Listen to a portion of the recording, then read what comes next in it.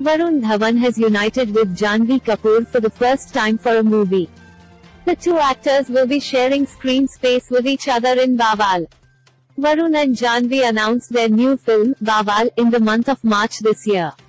Post that the actors commenced shooting for the film. Recently, Varun and Janhvi were shooting for Bawaal in the picturesque locations of Amsterdam. And now, they have wrapped the Amsterdam schedule of the film. Varun and Janhvi will now head to Poland for the film's next schedule.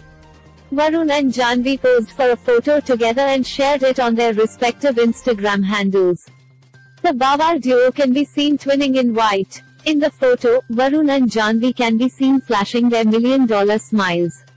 While sharing the pic on IG, Varun and Janhvi captioned their respective posts, having a hashtag Bawaal time in Amsterdam.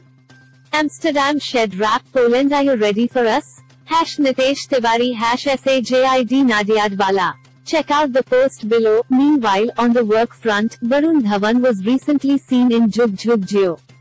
Directed by Raj Mehta and bankrolled by Karan Johar, the film also featured Anil Kapoor, Kiara Advani, Neetu Kapoor, Manish Paul and Prajakta Koli.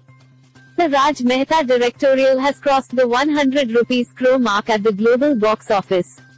Next, he will be seen in Bhediya with Kriti Sanon. On the other hand, Janhvi Kapoor has completed shooting Good Luck Jerry. The actress has been going out and about to promote her movie. She also has Mili lined up in the pipeline.